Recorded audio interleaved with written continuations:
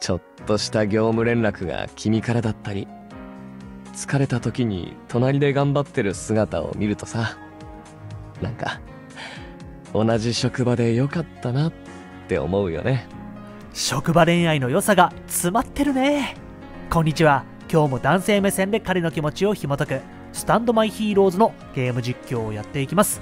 こちらのゲームは麻薬 G メンマトリがテーマの作品で主人公はクソガキユイと名付けてプレイをしております。今回は中毒に関する日替わりログインミニトーク集です。誰もが自分に対して中毒になってくれるのが乙女ゲームの醍醐味だよね。だからこっちも乙女ゲーム中毒者になってしまうわけですがそんな感じで早速ご覧ください。どうぞ。こちらは5月26日公開のストーリー。中毒性抜群。見ていきましょう。ブハあの。最近よく飲んでますね。栄養ドリンクだけじゃなくって軽く何か食べた方がいいですよ、うん、肝臓への負担とかもあるからねこういうの。うーん。分かってはいるんだがこの方が効率がいいからついな。では。何かつまめるものを買ってきましょうか？優しい。ありがとうもう少ししたら手が空くから自分で買いに行くよ。まあこういう時の買い物気分転換になったりするしね。心配だ。それなら。そんな関さんにおすすめがあるんですけどいやジャパネット高々通販番組みたいなくだり。簡単で栄養が取れるものならこの麻薬卵なんてどうですか？最近流行ってるみたいですよ。物騒な名前警戒しちゃうよね。えー、っと。それは新手のドラッグですか？なわけ。まさか。夏目ついにそういうのに手を出すようになったのか。向こうで検査をするぞ。ああみんな仕事の顔になってる。ほら。名前は紛らわしいですけど料理の名前なんです。ほらこれ。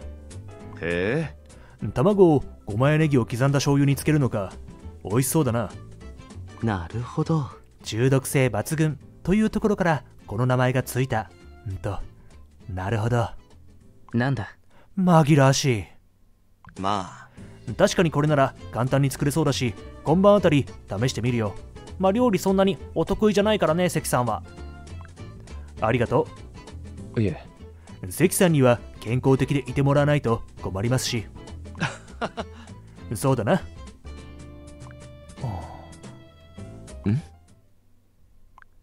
さっきから五木さんの表情が険しいんだけどまだ仕事モードな感じ？真に受けてるんですかね？あの麻薬卵レシピうまさは間違いないが職業柄料理名が受け入れられないんだよな。あくそ俺がこれを超えるレシピを開発して関さんを麻薬から解放しないと謎の使命感。料理が得意なことはみんなに秘密なんだけどね。別のモードのスイッチが入っていたみたいです、うん、口にはせずともね。こちらは5月28日公開のストーリー。目印になるもの。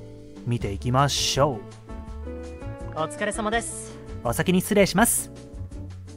よーし。今日は貴重な創生さんと飲みだ。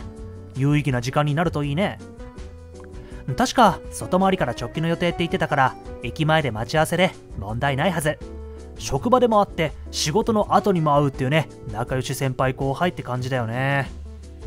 あれ？やけに人が多い？みんな同じデザインのロゴバッグ持ってる。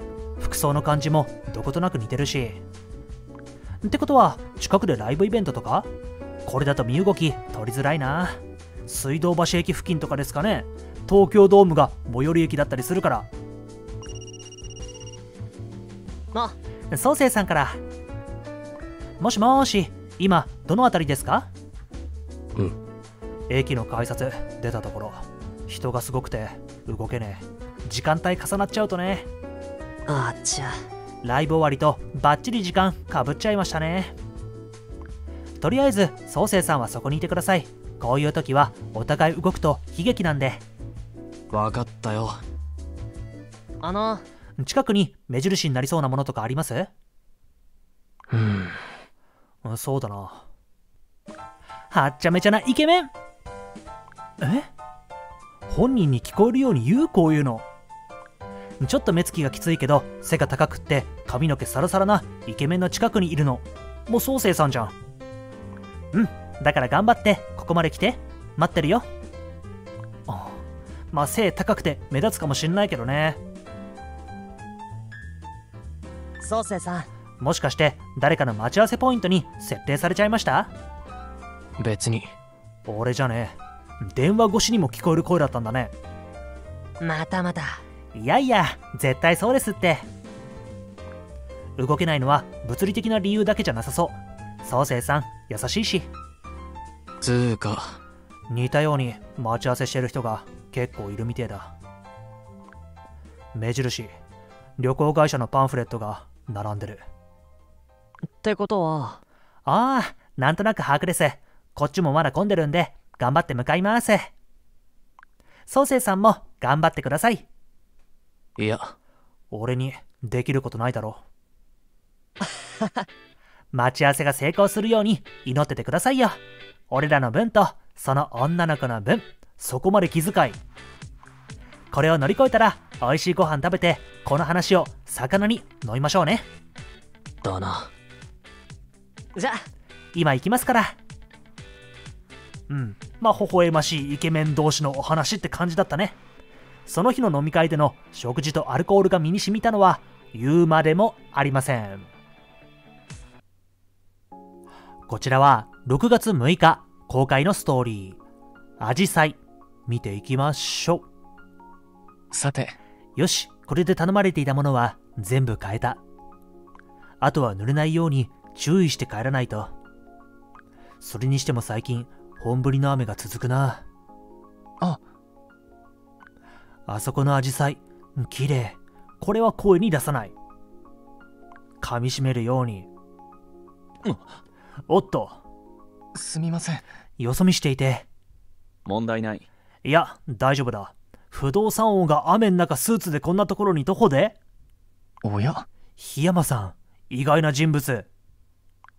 俺も注意がそれていた。ぶつかりかけてすまない。あそこのアジサイがあまりにも見事だったのでついな、うん、お花中毒な二人。わかります。僕も今写真に収めようとスマホを探していました。まあ共通点としては自然を愛する二人だよね。ほ九条への土産話に？うえ？九条家のアジサイも今見頃なんですが色合いがまた違うので。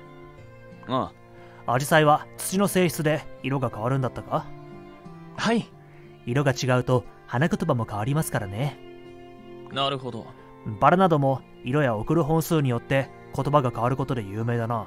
あそうなんだ。えー、っと。あそこのアジサイは青色なんで花言葉は冷淡。無情。うん。アジサイは色が移り変わることからマイナスイメージの言葉が付けられた背景があるな。うんこういう由来とか知ると楽しくなってくるよね。移り気とか浮気とか。あ。高嶺の花という意味合いも持っているみたいですね。あそんななんか高地で咲くものでもないのにそういう意味合いもあるんだね。移り変わる色がうまく心を奪いきれない女性を連想させるみたいで。はあそうなんだ。うん。高貴なイメージがあるんだろう。ヨーロッパでも東洋のバラと称されているしな。うん博識な二人だな花に関して。この時期に贈る花としては適しているのではないでしょうか、うん、季節感もあるしね。そうだな。俺も一つアジサイの花を送ってみるか。青やピンクも可愛らしいが白いアジサイをなこだわりありそあのうなぜ白色を？つまり白だけは土の影響を受けていない。大切な相手に送るにはいいだろうと思ってな。へえ。意外と独占欲が強いんですね。どういうこと？俺以外の誰色にも染まってくれるなってことでしょ？まあそうとも取れるか。さあ。解釈は任せる。意味深。僕は。でもそうだな。僕も白いアジサイを送りたいと思う相手がいます。そうか。その相手が同じでないことを祈っておこう。これは同じだろうなって思っておきながらの牽制じゃない？そうですね。檜山さんと争うのはとても大変そうなんでこの笑顔気づいてそう。いやこの笑顔怖いよ。バチバチしないで2人とも。2人が白いアジサイを送るお相手はヒロインのことなんでしょうね梅雨の時期に咲く花のみぞ知るかもしれません。まああとはヒロイン本人かな。ヒロイン中毒な2人でした。こちらは6月15日公開のストーリー。懐かしいカメラ。見ていきましょへうこの歌詞変わった食感でうまいですね。うん。いただき物なんだけどどこの名産だったかな。確か箱の裏に。なんだ？週刊誌か？カシャッとん？フラッシュ焚かれたね。はーい。瀬尾さんと生田さんのほのぼのティータイム？激写？うん盗撮。やったね。二人の素顔がうん撮れた。不貞行為じゃないからね。おい。くだらない。削除するから今すぐこっちにそのカメラよこせ。うん。残念でした。インスタントカメラだから消せません。あ。ずいぶん懐かしいものを持っているね。再び流行り出してるってやつね。はい。レレトロな写真が撮れるって少し前から流行っているんです。レトロブーム。うん。プリントしないとどんな写真になるかわからないのが新鮮。デジタルネイティブって感じがする。感想だよね。なるほど不便なところが逆に面白く感じられるのかな？うん。まあ芸術性も高い感じがするよね。そう。後から変更できないしシャッターを押すタイミングが大事。そうですね。一瞬をより大切に感じられる気がします。これがまた中毒性が高いんだよね。うん。本当の写真が手元に残るのもいいよね。思い出の宝物が増えていくみたいで。いや今時スマホに転送できるのもあるだろう。うん確かに。それにレトロ感を出したいならインスタントカメラ風アプリを使え。へイクトさん物知り。まあでもこの撮り直しが効かないっていうところはまたなくなっちゃうからね。当然どの世代の流行りも頭に入れている。これ学生から人気あるんだろうな。お前らも有益な情報があったら速やかに俺によこせうん。まあ普段学生相手にしてるだけあるよねこういうところも。えじゃあ3人で情報屋始める？レベルのライバルになっちゃう。面白そうでもまた違った情報屋になりそうだね。情報の幅が広がりそう。競合しなそうだよね。イクトさんに提供できる役に立つ情報み見つけられるかな？そうだ。みんなで写真撮ろうよ。唐突まあでもいいね。だけど。貴重な一枚を使ってもいいのかな？貴重な一枚だからこそですよ。はーい。じゃあみんな寄って。321なんかプリクラみたいだね。321とか言うと。インスタントカメラは最後の1枚分だったようで。これさ分かる人少ないかもしんないけどもう全部使い終わったかなっていうところからさらに1枚使えたりするよね。どんな写真が撮れているか早速プリントに向かう学生たちなのでした。昔はね遠足なんかでこういうの持たされて撮ってきてで現像してそれを提出するみたいな宿題があったんだけど今の子たちはそういうのないのかもしんないね。こちらは6月18日公開のストーリー。明るい時間を楽しもう。ん？もうこんな時間か。外が明るいから気づかなかった。日が伸びたよね。え？最近は日が長いですね。夏が来るって感じがします。ああ。もうすぐ夏至だから。実際5時間くらい日の出ている時間に差があるよね。6月21日が夏至だよねこれ6月18日のストーリーだからもうすぐに迫っています。最近ね毎日ガチャ実況動画を撮っているから毎日が何の日なのかってのを気にするようになっててねなんかパッと6月21日が夏至だって俺も覚えていました。ふむ。梅雨で薄暗い日が多くなってしまうのは少し残念だがな、うん、せっかく日が伸びたのにね。でも。よくわかんねえけどよ。明るいのが長いってのはラッキーだよな何言ってるんだ？1日が24時間に変わりはない。どこがどうラッキーなんだ？まあそこは現実的だけど。昼が長いと1日が長生きがすんだろ？まあその気持ちもわかるけどね。その分筋トレも遊びもいっぱいできる。小学生かよって感じだけどね。日が暮れるまでには帰ってきてねってやつ。そうですね。活動できる時間が増えるという意味では確かにラッキーかもしれませんよし。せっかくだ。明るい時間を堪能するため何かゲームでもしよう。明るい時間ってほんと物理的に明るい感じなんだね。うん。まあでもはい。気分も明るくなるって話かな。はい。上がり。ふん。俺もだ。何一丁上がり的な？マジかよ。早いな。何やってんの？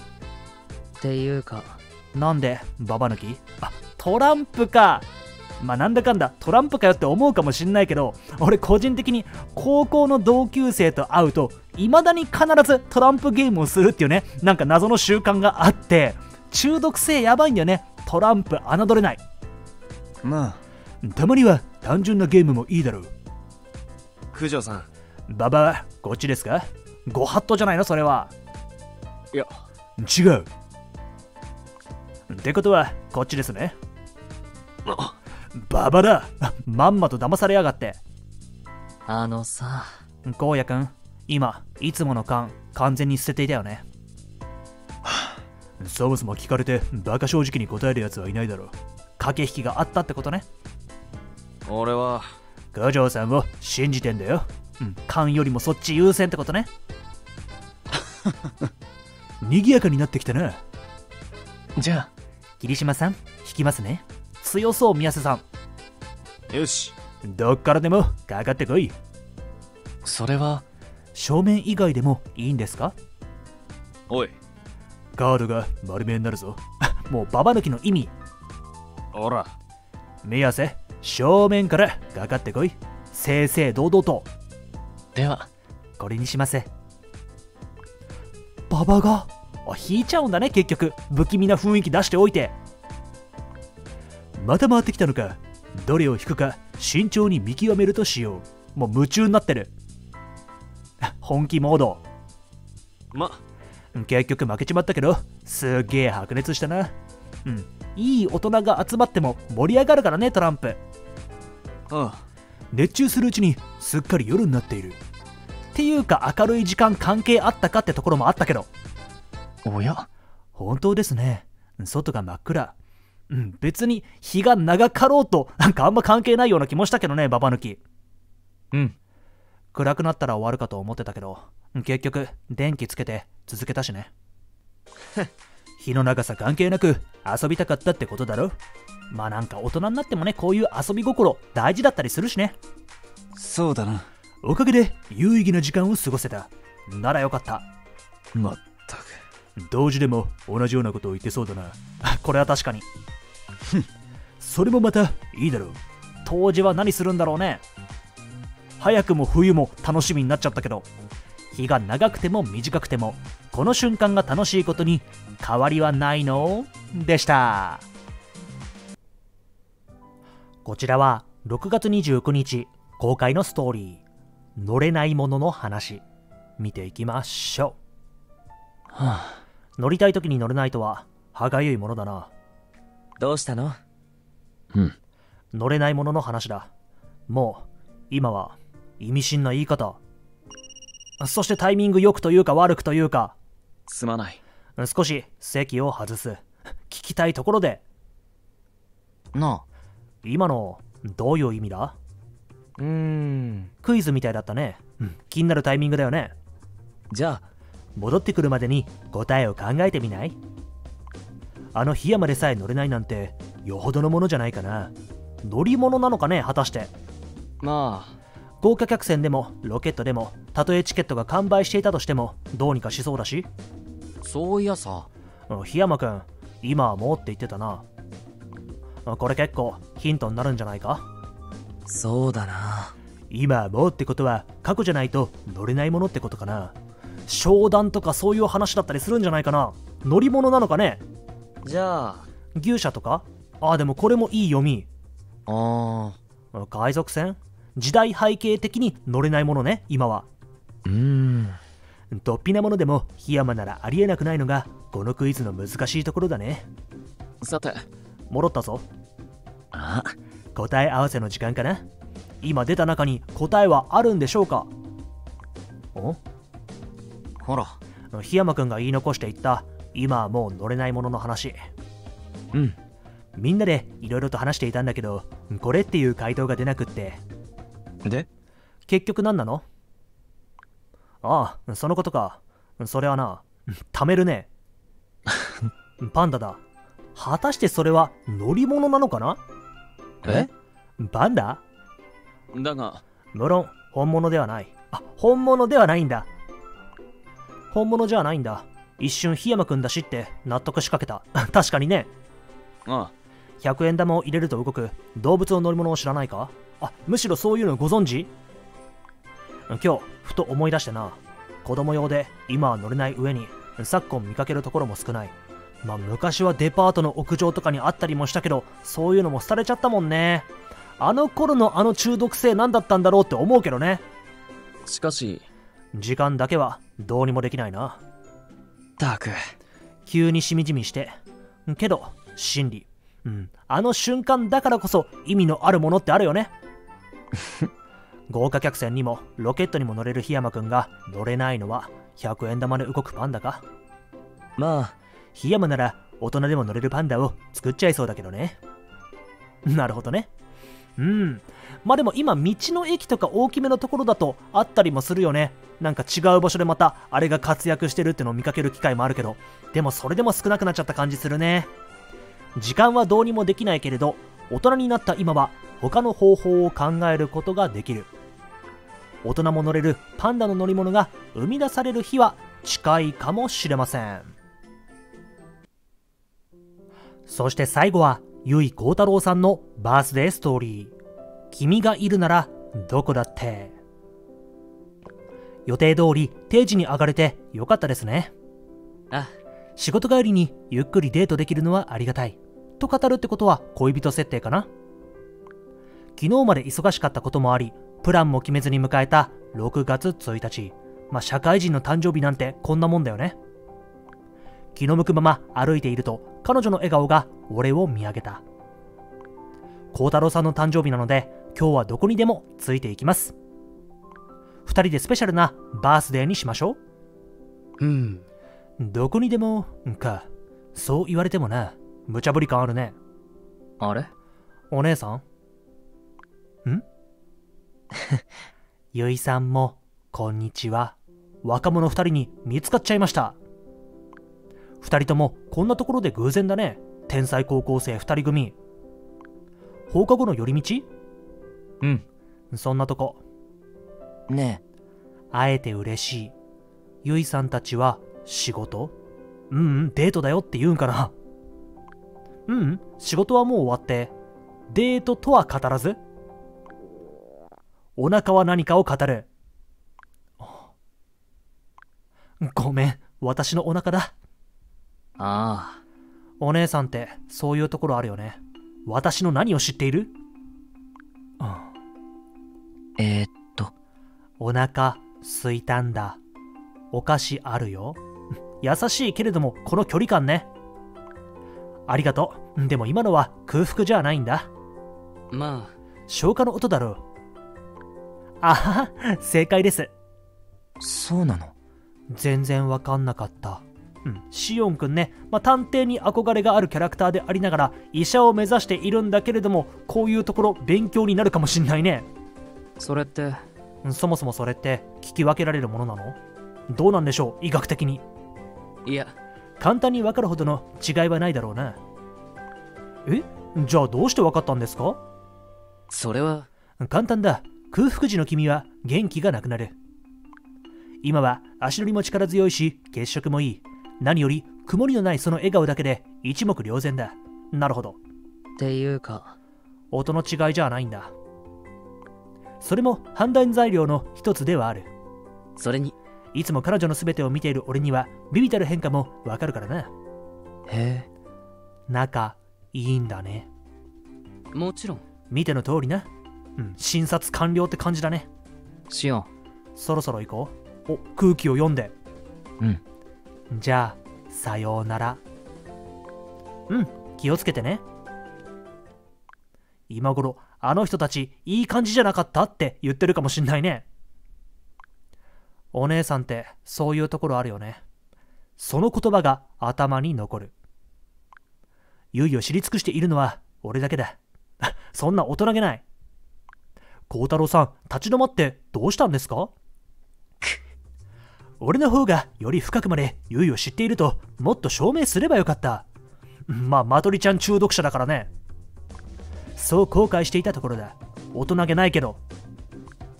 お腹の音の違いがわかるだけで、孝太郎さんからの思いがすごく伝わりましたよ。ういやあれくらいじゃ全然足りない。別の方法も頭に浮かんでいたというのになぜ実行しなかったんだ？